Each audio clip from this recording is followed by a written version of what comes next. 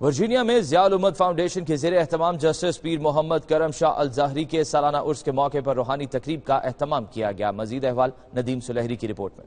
اپنے کرم کی بھیک مجھے بار بار دو۔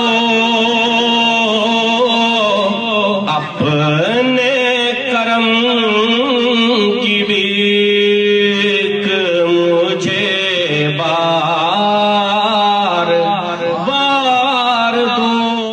ورجینیا میں ضیاء الامت فاؤنڈیشن کے زیر اہتمام جسٹس پیر محمد کرم شاہ الازہری کے سالانہ عرس کے موقع پر روحانی تقریب ہوئی، جس میں ڈاکٹر ظفر اقبال نوری، الحاج سید فصیح الدین سہروردی، الحاج نور محمد جرال علامہ طارق محمود جامی، سید اسد محی الدین، علی ایوان، حافظ حبیب اللہ اور کثیر تعداد میں خواتین و حضرات شریک ہوئے۔ روحانی محفل میں معروف نعت خاں فصیح الدین سہروردی نے نبی کریم صلی اللہ علیہ وآلہ وسلم کی بارگاہ میں عقیدت کے پھول نچھاور کیے۔ اٹھا کے دیکھا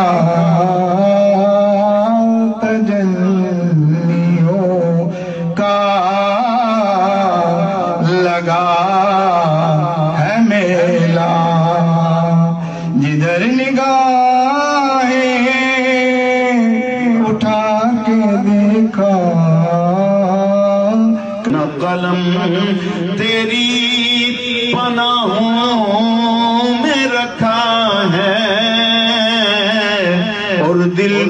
بچھا کر تیری راہوں میں رکھا ہے۔ مقررین نے ضیاء الامت کی تعلیمی، روحانی اور تدریسی خدمات پر روشنی ڈالتے ہوئے کہا کہ حضرت پیر کرم شاہ روحانیت میں اعلیٰ مقام رکھتے تھے۔ وہ ایک عظیم صوفی اور روحانی بزرگ ہونے کے ساتھ مایا ناز مفسر، قانون دان، سیرت نگار، ادیب اور بے شمار خوبیوں کے مالک شخص بھی تھے۔ اور پھر جو جنہوں نے شہادت کو وقار بخش دیا، جنہوں نے شہادت کو لوگوں کے دلوں میں اتار دیا، جو شہدائے کربلا ہیں، تو ہم یہ کہہ رہے ہوتے ہیں ہمیں امام حسین کے راستے پہ چلا۔ اور جب ہم یہ کہہ رہے ہوتے ہیں کہ ہمیں اب سارے بندوں کے راستے پہ چلا، گویا ہم یہ کہہ رہے ہوتے ہیں ہمیں حضور غوث اعظم کے راستے پہ چلا۔ ہمیں شاہ سور برد کے راستے پہ چلا۔ ہمیں خواجہ اجمیر کے راستے پہ چلا۔ سلطان الہند کے راستے پہ چلا، ہمیں شاہ نقش بند کے راستے پہ چلا، ہمیں مجدد لبستانی کے راستے پہ چلا، ہمیں شاہ تونسا کے راستے پہ چلا، ہمیں پیر سیال لجپال کے راستے پہ چلا، اور ہمیں ضیاء الامت پیر محمد کرم شاہ کے راستے پہ چلا۔